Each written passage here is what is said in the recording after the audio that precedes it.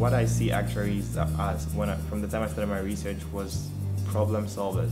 So actuaries have a very good training, a very good and rigorous training, and this helps us to add value to businesses, households, and wherever we find ourselves. So I'm looking to be that person who would help our clients to add value and to be able to take confident decisions that will help them grow without taking too much unnecessary risk. They should be able to take enough risk to help them grow and be profitable, but not something that will put them in distress. So that is what I look to do, add value to clients.